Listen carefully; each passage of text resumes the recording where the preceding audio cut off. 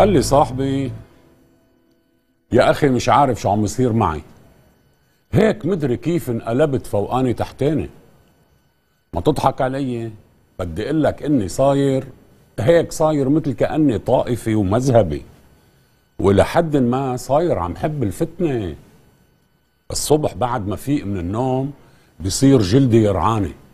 بنزل من البيت بروح بفتش على مشكل. وين في واحد من غير ديني أو من غير جماعتي بتخانق معه؟ من دون سبب يذكر.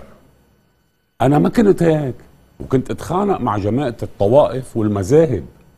بس يوم عن يوم نشرة أخبار بعد نشرة أخبار جريدة على مجلة مهرجان على خطاب تصريح على مقابلة.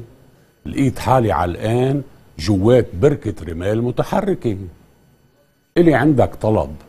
في شي دواء لحالتي؟ قلت له إيه في دواء. كل هوا. هذا رأيي. فكر فيها.